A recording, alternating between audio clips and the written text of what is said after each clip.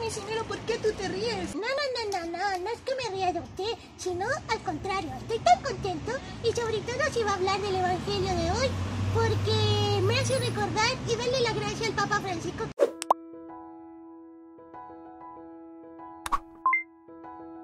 Ahora entiendo, Jacinto, tú te refieres al momento en que la mujer tocó a Jesús e inmediatamente quedó sanada. ¿Cuántos de nosotros confiamos tanto en Jesús para quedar sanados? Hay otro momento que a mí me gusta, cuando Jairo busca a Jesús y bueno, y lo lleva donde su hija.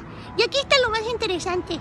Cuando, cuando la gente se burla de Jesús. ¿Cómo va a ser eso un momento interesante cuando la gente se burla de Jesús? O sea, es decir, no es que sea eso, sino me refiero a que lo que dijo el Papa Francisco. Tal cual como nos dice el Papa Francisco, Jesús le tomó la mano a la niña y inmediatamente ella caminó. Nosotros confiamos en Jesús. El Papa Francisco nos invita a recordar, a seguir las huellas de Jesús, a caminar con Jesús, a confiar en Jesús. Gracias, Papa Francisco.